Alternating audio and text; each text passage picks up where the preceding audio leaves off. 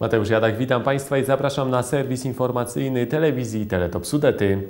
Prace w polu w większości gospodarstw rolnych dobiegły końca. Zboża zebrano, a ziemia ponownie szykowana jest pod zasiew. Plony w tym roku były obfite, w ich zebraniu przeszkadzała tylko pogoda. Jest jednak za co dziękować. Hucznie w tym roku w Krzyżowej i Milikowicach świętowali rolnicy z gminy Świdnica i Jaworzyny Śląskiej zakończenie żniw. Gminne Święto Plonów rozpoczęła uroczysta msza święta polowa na schodach Pałacu w Krzyżowej, której przewodniczył biskup diecezji świdnickiej Ignacy Dec. Intencji w czasie nabożeństwa było wiele. Najważniejszą jednak była ta dziękczynna za tegoroczne plony. Następnie barwny korowód dożynkowy złożony z delegacji wszystkich 33 sołectw wchodzących w skład gminy Świdnica przeszedł na plac, gdzie odbyła się dalsza część dożynek. Tegoroczne wieńce przygotowane przez mieszkańców zadziwiały formą, wielkością i dokładnością w wykonaniu. W tym roku jestem pod wrażeniem, jestem szczęśliwa i jestem wdzięczna wszystkim moim mieszkańcom, bo jest 27 stoisk. E, I, I, myślę, że e, jako gmina o charakterze typowo wiejskim, bo taki charakter dalej zachowujemy, może być, możemy być szczęśliwi, że właśnie e, świętujemy w ten sposób dożynki, bo tak jak powiedziałam w swoim wystąpieniu, dożynki to nasza piękna tradycja i naszym obowiązkiem jest jej, ją chronić. Tegorocznych atrakcji było mnóstwo. Na straganach królowały przepyszne swojskie specjały, konfitury, przetwory i ogromne bochny chleba przeróżne ciasta i własnej roboty nalewki. Wszystko jest pieczone przez nasze panie, przez nasze gospodynie. Wyroby, które mamy tu na stole są wszystkie wykonywane przez nas. Y, własnoręcznie robimy. Przepyszne nalewki boleścińskie, przede wszystkim słynne. Y, aronia, malina, czarna porzeczka w tym roku królowa naszych dożynek. I mamy przetwory takie jak y, owocowe, dżemy z czarnej porzeczki, z wiśni, z truskawek i z brzoskwi. I mamy nowość w tym roku, tutaj jest ketchup paprykowo-pomidorowy. Tegoroczne żniwa zdaniem rolników nie należały do najłatwiejszych. Plony jednak dopisały i jest za co dziękować. Długie, ciężkie i męczące. Przede wszystkim pogoda robiła to, co chciała. Do południa słońce, po południu deszcz. Y, kombajniści wyjeżdżali na raty i przede wszystkim brak ceny, brak skupu. Pełno zboża jest na przyczepach. Pełno zboża jest na przyczepach. My osobiście mamy ze 30 ton y, zmagazynowane, bo nie było komu sprzedać, a żeby powstały nowe zasiewy, trzeba kupić paliwo, opryski i nasiona. Nie? I dzisiaj jest niedziela, my robimy dożynki, a mój syn sieje rzepak, bo po prostu nie dał rady. Wczoraj nam zalało, dzisiaj do południa uprawiali, obydwoje moi synkowie. No i w tej chwili dzwoniłem, zjeżdża, bo oberwanie chmury na Pankowie. Zabawa trwała do późnych godzin nocnych. Umilały ją występy artystyczne zespołów m.in. ludowo-estradowego Mokrzeszów czy tańca narodowego i estradowego Krąg. Gwiazdą wieczoru tegorocznych dożynek był zespół Bayer Full. Mama blondyneczko, o tym wiesz? Tyle razy cię spotykam w każdym moim śnie. Mama blondyneczko, czy nie o tym wiesz? Tyle razy cię spotykam w każdym moim śnie. Dożynki w gminie Jaworzyna Śląska słyną z dobrego jedzenia, przyjemnej atmosfery i przedniej zabawy w wyborowym towarzystwie. W skład gminy wchodzi aż 12 wsi. Bagieniec, Bolesławice, Czechy, Milikowice, Nowice, Nowy Jaworów, Pasieczna, Pastuchów, Piotrowice Świdnickie, Stary Jaworów, Tomkowa oraz Witków. Zaszczyt organizacji dożynek gminnych w tym roku przypadł wsi Milikowice. Każdy, kto miał przyjemność pojawić się w ostatnią sobotę na dożynkowej imprezie, doskonale wie, że wybór był idealny. Znaczy to jest jako sołectwo Milikowice to jest dość duża wioska. W tym jest, w tym jest gospodarstw rolnych, takich większych, mniejszych, dużych gospodarstw rolne, mających ziemski. No i w sumie to jest takie główne podziękowanie za zebrane plony za ten rok, który po prostu praktycznie można powiedzieć już się kończy. Plony były dość obfite, tylko że po prostu no, cen nie ma na dzień dzisiejszy, tak jakbyśmy się spodziewali, nie? Ale po prostu no, można powiedzieć, że nadrobiliśmy to, no, nadrobiliśmy to wagowo, znaczy plonami, nie? No i to tak było na tyle na dzień dzisiejszy, nie? No i to w sumie takie, takie uwieńczenie całego po prostu trudu rolników, które ponosili przez cały rok. Ciężko było zorganizować dożynki? Znaczy nie było ciężko, bo po prostu tak jak y, widać, po prostu jest zorganizowane dość w miarę, mi się wydaje, to dość ładnie wychodzi, dość sporo mieszkańców jest, zaangażowanie mieszkańców Rady Sołeckiej, Rady Parafialnej, gminy, no i efekt tego widać. Dożynki gminy Jaworzyna Śląska spokojnie mogły zawstydzić swoim programem niejedną tego typu zabawę. Każda ze wsi zaprezentowała swoje stoisko, na którym skosztować można było pysznego gospodarskiego jadła oraz tradycyjnych wypieków. Pojawiły się też wyborne nalewki, od których bardzo szybko mogło zakręcić się w głowie. Z czego słynie Pasieczna i jaka to jest wieś? To jest bardzo malutka wieś. Mamy zaledwie 350 mieszkańców, 60 parę numerów.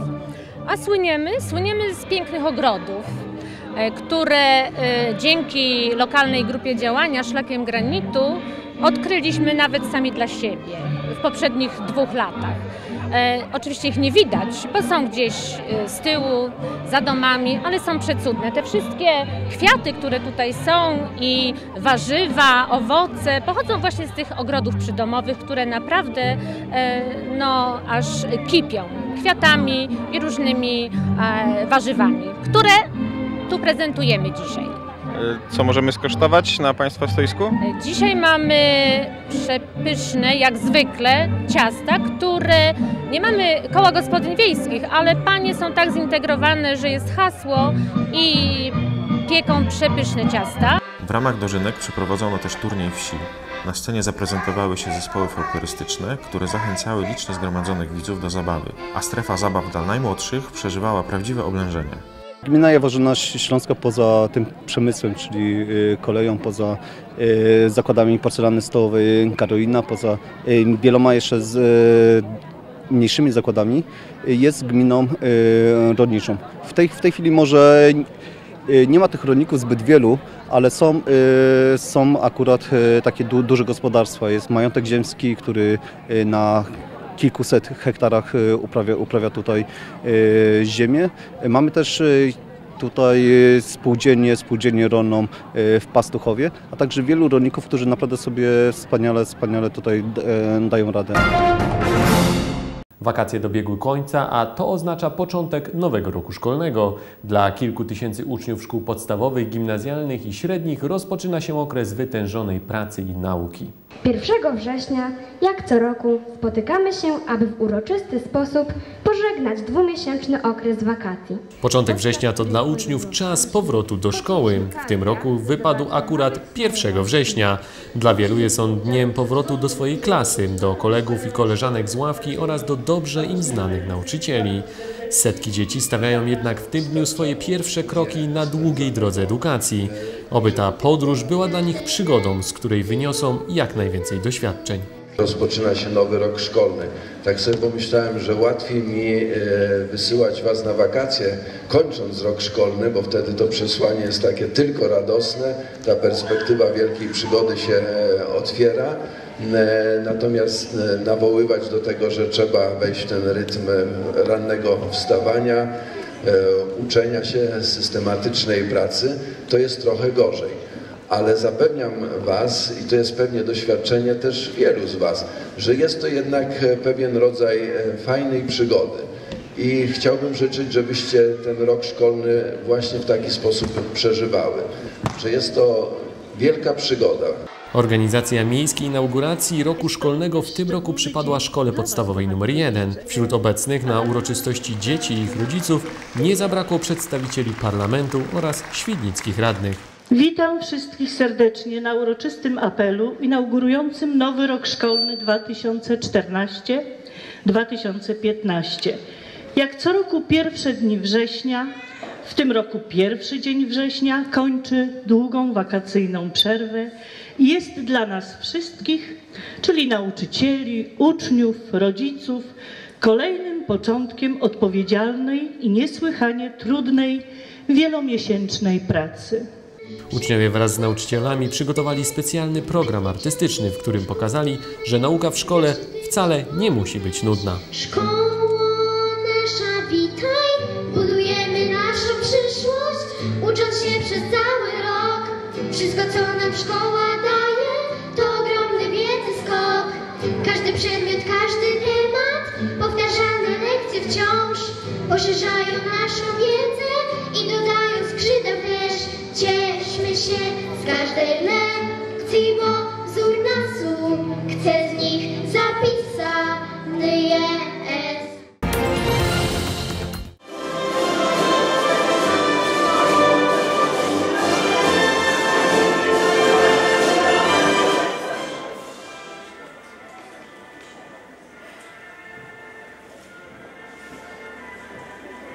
Szanowny Panie Ministrze, przyjacielu dzieci, przyjacielu Szkoły Podstawowej nr 315 w Świdnicy.